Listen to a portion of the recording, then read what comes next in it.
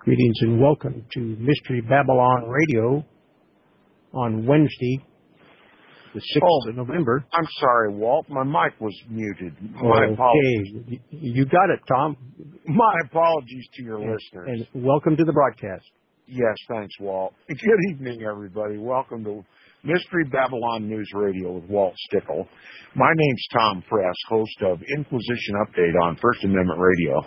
And Walt has asked me to come and do a series of broadcasts on the falsehood of futurism. And last week, or rather in previous weeks, we read and discussed the Jesuit oath, the oath of the militia of the Pope, and how they are destined by whatever means to destroy the Protestant Reformation. The Protestant Reformation was literally fueled with the belief that the papacy was the biblical, historical, and prophetic Antichrist and that it's only been about three generations of Christians that have believed otherwise. The last three generations of Christians have been taught something contrary to what all the Protestant reformers, to the man, believed. Now, what do they believe that is different from the Protestant reformers? Literally, that the Pope is not the biblical, historical, and prophetic Antichrist of the Bible, but that Antichrist is a future entity to, to arrive upon the scenes of history in the long distant future, or rather just seven years or three and a half years, as the case may be, whether you believe in pre tribulation or mid tribulation or post tribulation. Uh, period of time. In other words, seven years roughly before Christ's return. Now, I call this futurist belief the greatest deception since the Garden of Eden. And I hope my listeners were here last week when we read Daniel's prayer in Daniel chapter 9, how by the reading of the book of Jeremiah, Daniel learned that there would be 70 years of Babylonian captivity. And that through that revelation, God had something with which to work. Daniel was a, a willing and, and repentant Israelite, and God literally called him to prophesy the coming of Messiah. Now, we've read Daniel's prayer, and now we're going to begin in Daniel chapter 9, verse 21. Now he says, Yea, whilst I was speaking in prayer, even the man Gabriel, the archangel Gabriel, whom I had seen in the vision at the beginning, being caused to fly swiftly, touched me about the time of the evening oblation. And he informed me and talked with me and said, O Daniel, I am now come forth to give thee skill and understanding. At the beginning of thy supplications, the commandment came forth, and I am come to show thee, for thou art greatly beloved. Therefore, understand the matter and consider the vision. Now, the archangel Gabriel is going to describe to Daniel the vision. The angel is going to describe to Daniel a 490 year period of time. It has a definite beginning, it has a definite ending. This 490 year period, the angel refers to as 70 weeks. 70, uh, we all know that a week consists of seven periods of time. This is 70 times 7, or 490 years.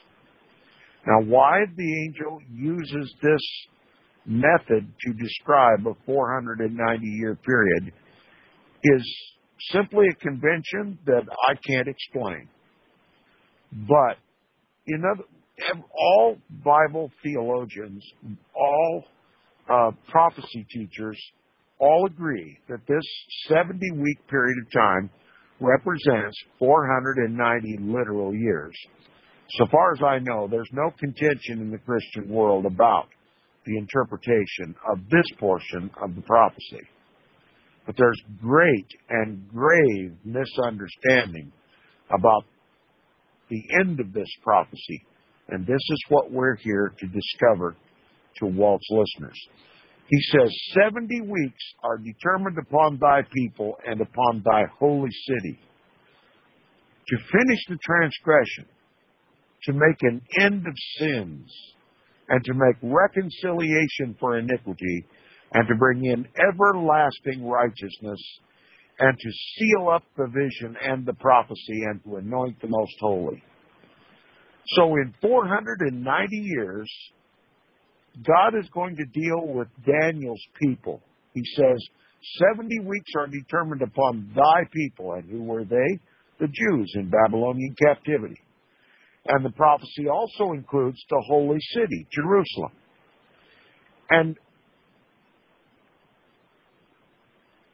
in the end of this 490 year period, or during this 490 year period, God is going to finish the transgression and to, to make an end of sins. How? By simply washing them away, right? And to make reconciliation for iniquity. We know that Christ reconciled us to God, did he not? It was iniquity that stood between us and the Father, and it was Christ who reconciled us and bore our iniquities on his own body and paid our punishment. And it says, and to bring in everlasting righteousness. In this language, the angel is telling Daniel that Christ's heavenly kingdom is going to be open to all those who will enter it. And that kingdom will never end. That is everlasting righteousness. The kingdom of Christ is everlasting and it is righteous. And he also says, and to seal up the vision and the prophecy, and to anoint the most holy. Now, what does he mean by to seal up the vision and the prophecy?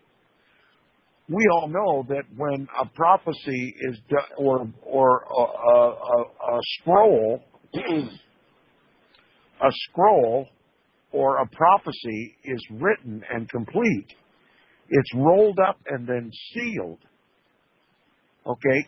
What we're literally talking about is that during this 490 years, all of these things that that the angel has told Daniel that will happen, bringing an end of transgression, an end of sins, and to make reconciliation for iniquity, to bring in everlasting righteousness, will be sealed up in 490 years. Now, does that mean that somehow it won't be complete before it's sealed up? In other words, that there may be a portion of what the angel had prophesied to happen within this 490 years that just simply didn't happen on time, and that it must that the prophecy must be unsealed once again so that the vision and the prophecy can be finished that runs counter to common sense. And there's nothing in this prophecy that indicates that the, that the prophecy will have to be opened up again in order to finish some unfinished business that the angel has just prophesied to have been completed in that 490 year period. Now, there's one last thing the angel says, and to anoint the most holy. Who is the most holy? It's Jesus, of course, and he was anointed by the one sent for that purpose, John the Baptist in the River Jordan. Behold, the Lamb of God, which taketh away the sin of the world. That makes him the most holy, doesn't it? That he was so holy and righteous, sinless, that he could bear upon his own body our iniquities, our transgressions, and reconcile us to God by sacrificing himself as a lamb on Mount Moriah in Jerusalem, as did Abraham before him, Isaac, or Jacob. Now, this is the prophecy. It's to be sealed up in 490 years. Once a prophecy is fulfilled, there's no need to re-fulfill any portion of that prophecy. And we must believe that God fulfilled this prophecy because in him is no error and in him is no guile. Now, Daniel chapter 9, verse 25 says, Know therefore and understand that from the going forth of the commandment to restore and to build Jerusalem unto Messiah the Prince shall be seven weeks and threescore and two weeks. The city shall be built again and the wall, even in troublous times. So now we're told that there will be a specific starting point for this 490 year clock to start ticking. That 490 year clock will start ticking at the com- going forth of the commandment to restore and to rebuild Jerusalem.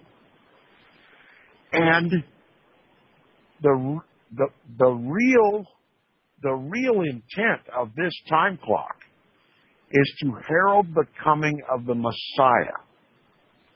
Okay, this prophecy is all about the Messiah. It's not about anybody else, despite what you've been taught in your churches. It says, from the going forth of the commandment to restore and to build Jerusalem unto Messiah the Prince shall be, now remember, we're still talking about 70 weeks total, 490 years.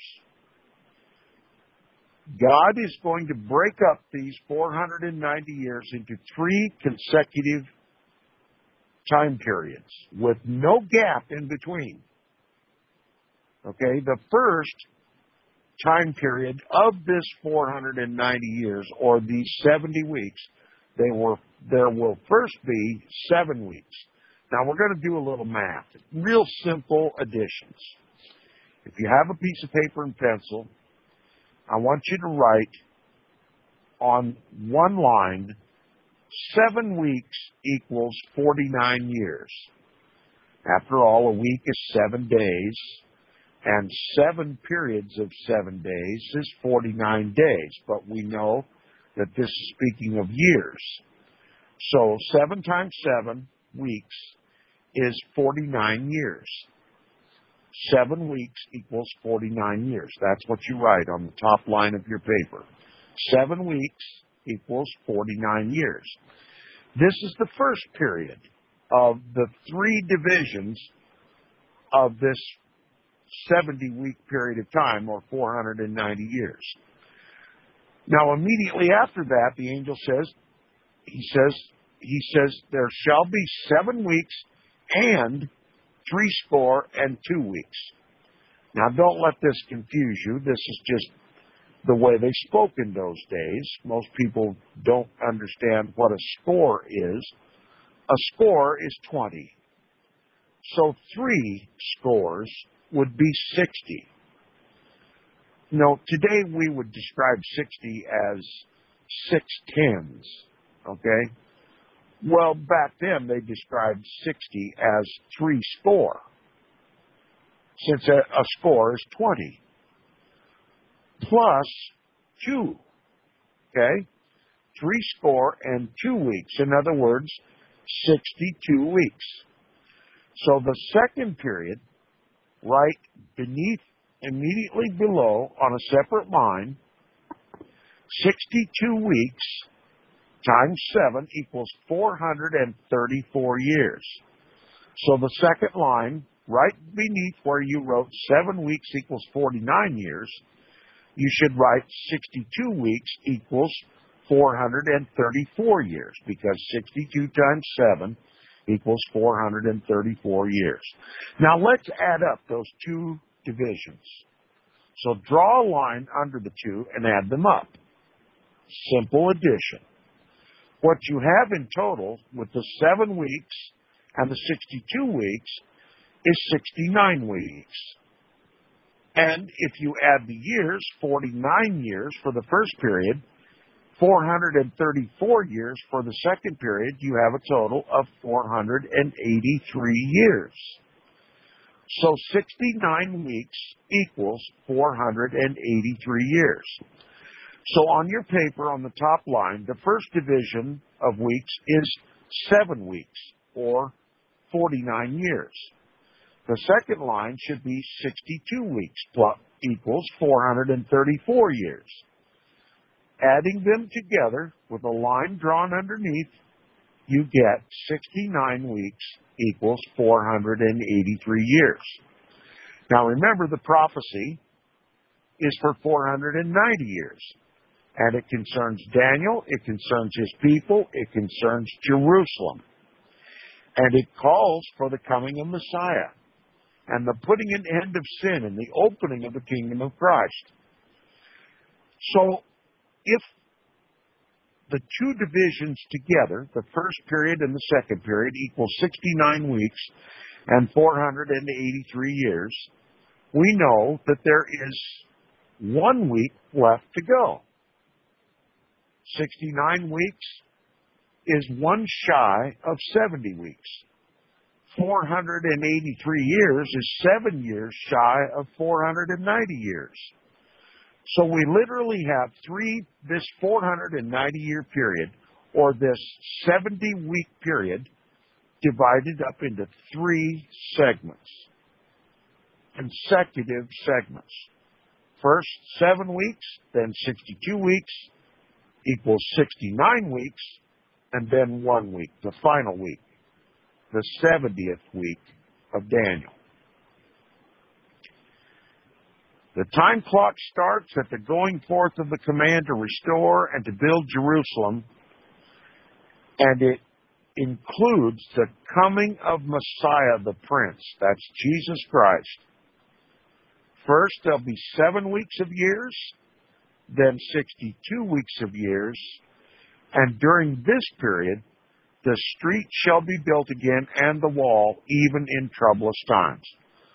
So, for 483 years, Jerusalem will be in the rebuilding, and trouble will characterize that period. Now, there is one period of years left to go. That is one week. Now, Daniel says in chapter 9, verse 26, he says, And after three score and two weeks shall Messiah be cut off. In other words, crucified. We know this because we read the scripture and know that he was that he was crucified. Now, first of all, we're talking about the three score and two weeks. But don't forget before the three score and two weeks, there were seven weeks, or 400, or, or rather 49 years. So literally, we are talking about Messiah coming after not just the three score and two weeks, but after 69 weeks. Again, he says, Know therefore and understand that from going forth the command to restore and rebuild Jerusalem unto the Messiah the Prince shall be seven weeks, the first period. Right after that, another 62 weeks. During that time, the street shall be built again and the wall, even in troublous times. Now, we're at the end of the 69th week.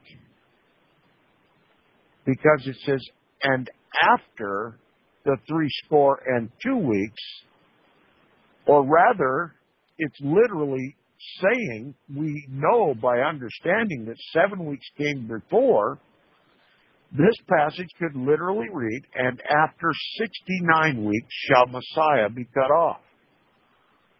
Now listen, if it's after the 69th week that Messiah shall be cut off and crucified, logic indicates, and we need nothing else but logic to indicate that his cutting off, his crucifixion must come during the 70th week. Look carefully at Daniel chapter 9, verse 26. It says, And after two weeks shall Messiah be cut off. So it must literally mean that after 69 weeks, Messiah will be cut off. Again, if it's after the 69th week, it must occur during the 70th week. Logic won't have it any other way. We know that there's only one week after the 69th week, after the 483rd year. There's only seven years remaining. And it is after those 483 years that the seventh, uh, the 70th week begins. After the 69th week, the 70th week begins.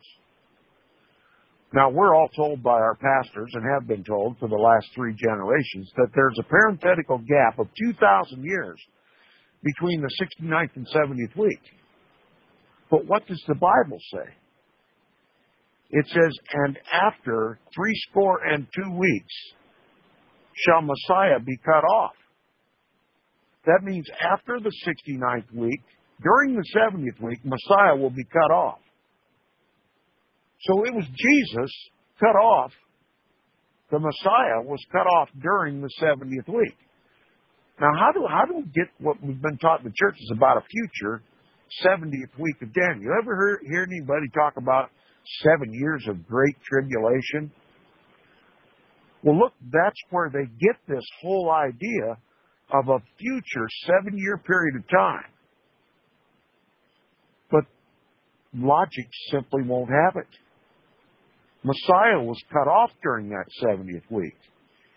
And as we continue to read, we'll find out that he was cut off in the middle of that 70th week. Literally three and a half years within that 70th week. It says, and after three score and two weeks shall Messiah be cut off. In other words, during the 70th week, Messiah shall be cut off, but not for himself. Yes, he died for all of us who will receive him.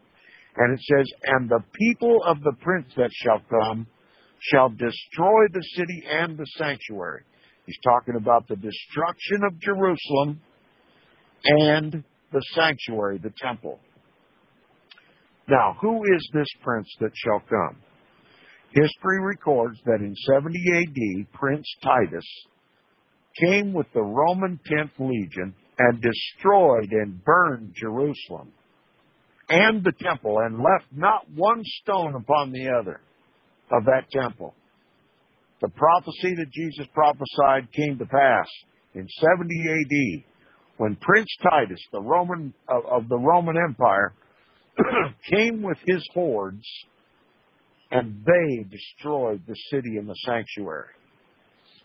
And it continues and it says, And the end thereof shall be with a flood, and unto the end of the war desolations are determined. Jerusalem was desolated. And as a matter of fact, Jesus, in prophesying the destruction of the temple, when he prayed over Jerusalem, he said, Your house is left unto you desolate. In other words, God isn't in it anymore. It's desolate. He, Jesus knew that the Jews were going to reject Christ as the Messiah that they would not know the time of their visitation because they did not understand the prophecy of Daniel chapter 9. And their house, their temple, not God's temple, their temple would be left unto them desolate. And literally it was. Now, in verse 27, and here is where the deception takes place. The greatest deception since the Garden of Eden. And he shall confirm the covenant with many for one week. Remember, after the 69th week, Messiah will be cut off. It means during the 70th week, he will be cut off. But he shall confirm the covenant for one week, seven years. Who is it speaking of? Can't be anybody but Jesus. Now people say, no, it's the prince that shall come. No, the article of that parenthetical phrase is, and the people of the prince that shall come shall destroy the city and the sanctuary. And if we drop down to Daniel chapter 9, verse 27, it says, and he shall confirm the covenant. Well, he cannot describe people. The people of the prince that shall come. And it's not referring to the prince that shall come because he didn't confirm any covenants. He simply destroyed the temple and Jerusalem. Prince Titus destroyed the temple and Jerusalem. He didn't confirm any covenant. Jesus did. So who is the identity of this he in Daniel chapter 9 verse 27? My guess is 99.999% of the listeners have always been taught by their theologians, by their pastors, that this he referred to here is the Antichrist. That the Antichrist shall come and confirm a covenant with many for one week, a seven year period of time. But we're not talking about a future week. You see, that's the lie. The 70th week of Daniel is completely and perfectly fulfilled in Messiah. There is not one mention in all of this prophecy about any Antichrist. And we are not to be confused by this short little parenthetical phrase that says in verse 26, and the people of the prince that shall come shall destroy the city and the sanctuary, and the end thereof shall be with a flood, and unto the end of the war desolations are determined, because all of that is already revealed in history of 70 AD. So that portion is over. And I assert to my listeners tonight that the 70th week of Daniel is over too. He shall confirm the covenant with many for one week. And in the midst of the week, he, Christ, shall cause the sacrifice and oblation to cease. How did Christ cause the sacrifice and oblation to cease? Remember, Jesus was crucified on the high holy day. Jesus was crucified on the very day that the high priest of Israel was to take the sacrifice into the Holy of Holies and make reconciliation for all the sins of Israel. But what happened? When Jesus cried with a loud voice and said, It is finished, he was talking about this prophecy, Daniel's prophecy. It is finished. My, con- my covenant in my blood is confirmed and he gave up the ghost. And immediately the veil of the temple was rent from top to bottom. And you must know that when that heavy veil was ripped from top to bottom, it was God who ripped it. Well, why would God rip the veil of the temple? Because it had no purpose anymore. The house was desolate. The lamb, the real lamb of Israel, was hanging on the cross just outside the city. And it was that sacrifice that God accepted as the atonement for Israel. So what about the blood that the high priest of Israel was about to take into the, the Holy of Holies and sprinkle? He couldn't do it because the veil of the temple was ripped and the veil had fallen open and exposed the Holy of Holies. And we all know that the temple worship, because of that missing veil, temple worship ceased. That's how God called. That's how Messiah, in the midst of the week, in the midst of the 70th week, caused the sacrifices and oblations to cease when he became the sacrifice and the oblation and rendered Temple Mount worship over with. permanently. To, to offer any more sacrifices is to reject the sacrifice that Christ made on that cross. To make any more animal sacrifices to say, it is not finished. Any more sacrifices to say, the vision is not sealed up. The prophecy is not sealed up. And we must have a do over. Because remember, if there is anything called the future 70th week of Daniel, it's not the authentic. Jesus fulfilled that prophecy 2,000 years ago completely and perfectly. The Lamb of Almighty God caused, confer, first confirmed the covenant in His blood and then caused the sacrifice and the oblations to cease when He fulfilled that covenant. If anybody tells you there's a future 70th week of Daniel, they are liars. If anybody tells you there's a parenthetical gap of 2,000 years from the between the 69th week and the 70th week of Daniel, they are liars. No apologies. They are liars. And the sons of liars. Anybody with eyes to see, with any knowledge at all of history, with any knowledge of the Bible can see plainly that the he spoken of in Daniel chapter 9 verse 27 speaks of no one but the Messiah. This prophecy is about no one but the Messiah and Daniel and Daniel's people and Jerusalem.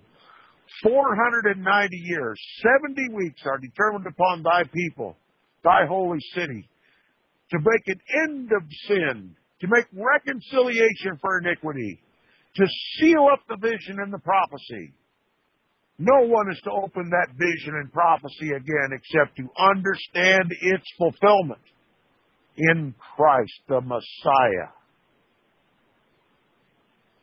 In the midst of the week, after three and a half years of his ministry, his ministry began after the 69th week. On the very first day of the 70th week, the Most Holy was anointed by John the Baptist in the River Jordan. This is my beloved Son. This is the Messiah.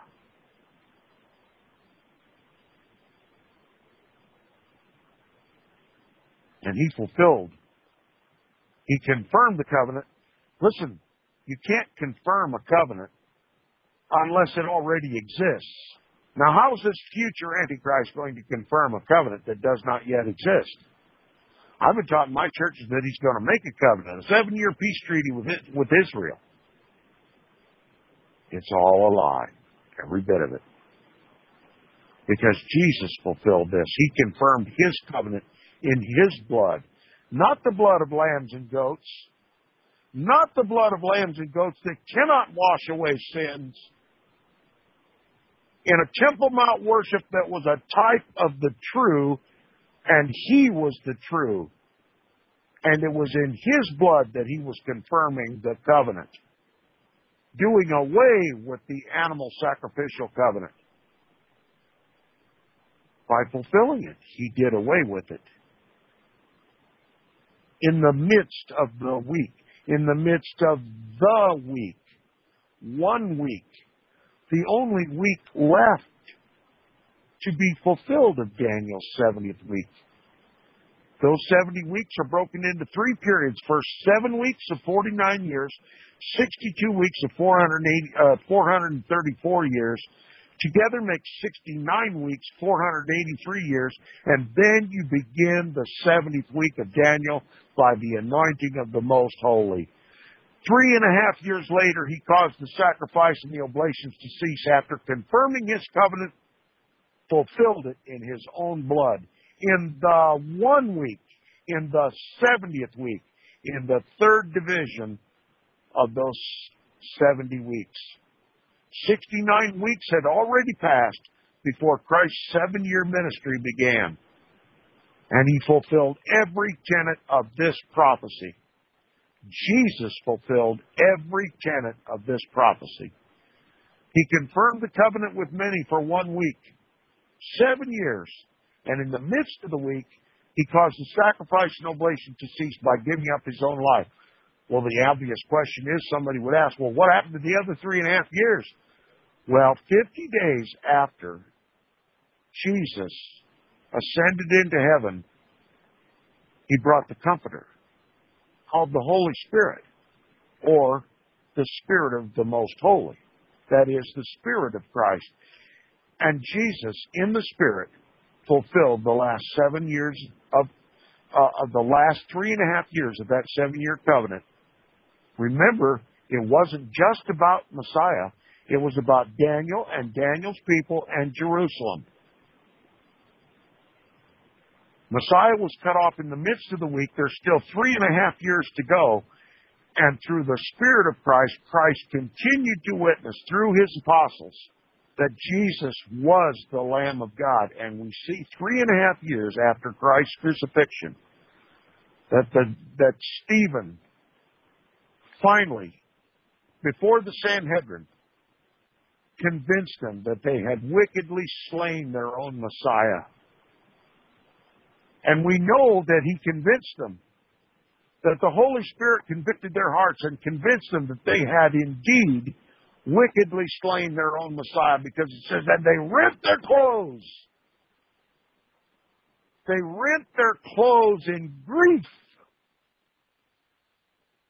But instead of getting down on their knees before Stephen and confessing that Jesus was their lamb and that Daniel's 70 weeks was over, that the prophecy was fulfilled and sealed, Stephen shut him up. Repentance never came to Jerusalem. Repentance never came to the Jews. Yes, there were Jews who were saved.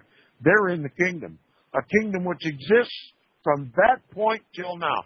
Everybody in the Christian world says, when Jesus' kingdom comes, when Jesus' kingdom comes.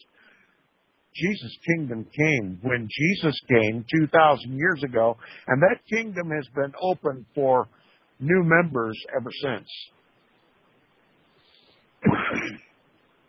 and no, you don't have to sign a baptismal card to become a member of that church. Christ adds you to that church. All those who are called and chosen, all that the Father giveth me shall come to me. And we've been coming to Him for 2,000 years. The kingdom has been ours ever since. Christ is our King. And we are under His protection and His law and his covenant. We are washed in his blood. He has brought an end of our iniquity. He has reconciled us to God. But the Jews as a nation rejected him. And instead of falling down on their face in repentance, they stoned Stephen. They stoned the messenger. Now, what about these Jews? That rejected Jesus Christ, they're still looking for a Messiah, aren't they? Well, they're going to get one. But it's not going to be Jesus. Daniel chapter 9, verse 27 is talking about the Messiah, Jesus, and no one else. And Jesus shall confirm the covenant with many for one week.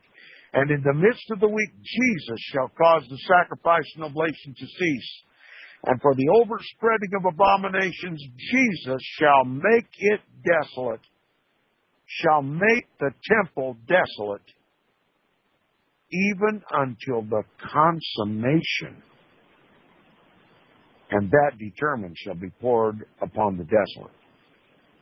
Now, what is the consummation? I'll let my listeners decide. Many people say no, the consummation ended in 70 AD when the temple was destroyed. But I don't believe that's what it's talking about. I believe the consummation is the consummation of the world. And it says, For the overspreading of abominations, Jesus shall make it, the temple, desolate, even until the coming of the judgment. And that determined, the judgment, shall be poured upon the desolate, those who have not Christ.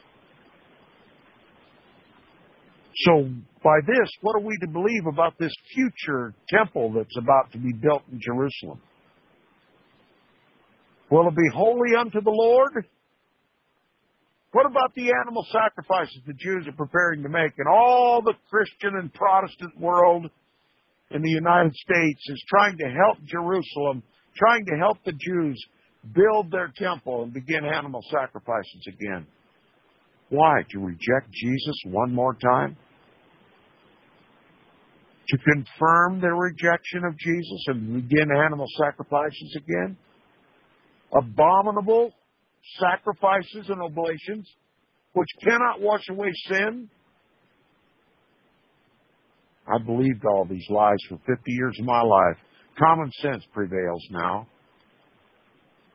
The simple language of Daniel's 70th week prophecy is very well understood by me by the grace of Almighty God. Because if it were not for His grace, I'd still believe the lie, the greatest lie that's been told since the Garden of Eden.